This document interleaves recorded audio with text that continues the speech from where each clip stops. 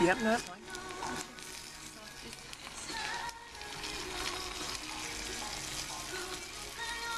So you try to make a crunch on the bottom.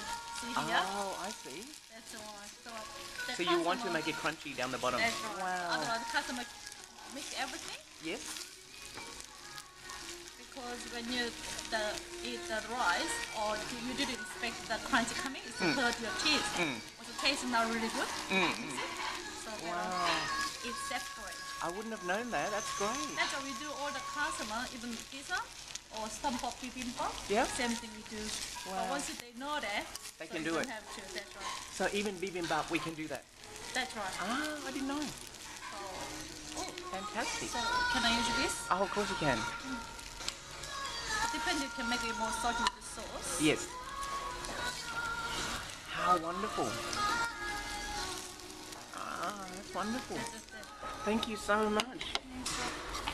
It, and they make more. It only explains um, the way you mix it, as you've seen before, really helps to burn the rice down the bottom here, and that's meant to be the specialty of the dish. I never knew that, and that you can actually even do this for bibimbap. Um, the version I'm having tonight is the fish roe version. Um, the colour is beautiful. It's orange. It's vibrant. It's bright. Um, and I'm just so stoked that um, I've learnt that you can actually um, burn the bottom. Yeah.